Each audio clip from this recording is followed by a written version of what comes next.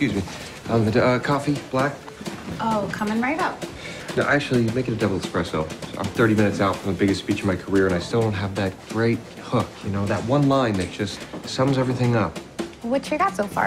I'll let you have a minute? Thanks. Uh, so, yeah, speech, speech, speech, blah, blah, blah. We're building and we're inspiring. And then I hit him with, and I'm the doc to whom you can talk. Uh, maybe it needs to be simpler. Sucks. Um, be right back. Uh, sir, how may I uh, be of assistance to you? Uh, not sure you can. I've got an endoscopy, but I'm, I'm thinking about just turning around and going home. Oh, no, why would you do that? I hate hospitals. And this one is the only one that takes my crappy insurance.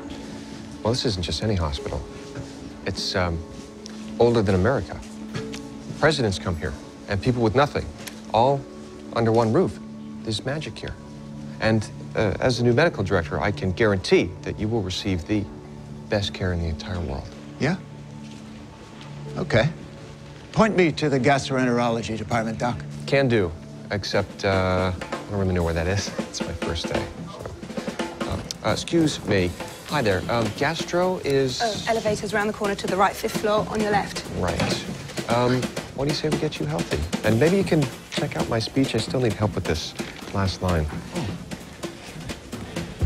Oh, sir, your coffee?